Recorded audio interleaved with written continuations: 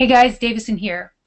So, how would you feel if you were judged extremely harshly for one answer to one very awkward question by millions of people?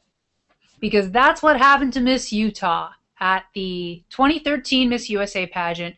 She was asked a very complicated, awkwardly worded, worded question about the wage gap and what that says about society.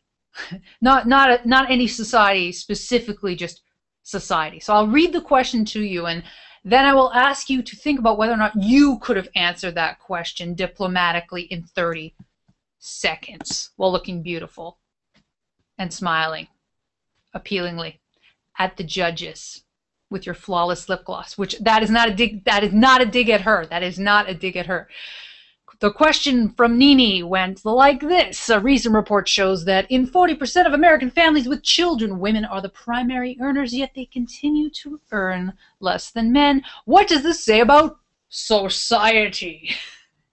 Whenever I read questions about society, it makes me think about social studies class because they're so broad and juvenile that it's very difficult to take them seriously, those kinds of questions.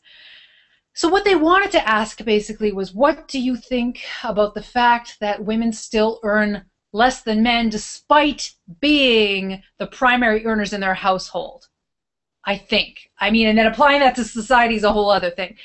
And, you know, we all know the answer to that. Unfortunately, we live in a society that is still sexist and in a society where women are taught to be kind and subservient. Therefore, they do not ask to be paid the same as men. There are some improvements that have been made in the past decade to wage parity. However, we're still not there yet. And if anything, women being the top earners in their household 40% of the time illustrates the fact that probably less high paying jobs are available than in the past because these women ostensibly are earning less than their male partners.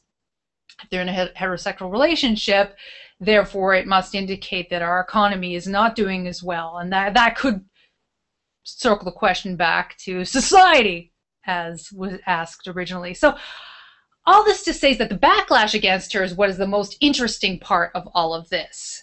Like i said when i opened this piece can you imagine if you were put in front of thousands of people and you knew your success at something depended on your one answer and you didn't know what the question was going to be and then something very complicated was thrown at you you would you would probably choke too. And the fact that people are judging her so harshly shows how sexist and judgmental and misogynistic online culture has become which may be reflective entirely of our society I think it's appalling that people are commenting on her looks being evidence as or evidence of the fact that she must be less intelligent than the average woman. That's not true.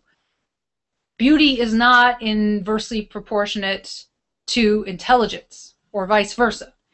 So that's that. That's my reaction, and um, I I don't know what to say. It just it, it makes me feel tired and sad and this i mean this woman willingly put herself into a pageant but she she's honestly she's there to be the product of a, success, a sexist society not to rail against it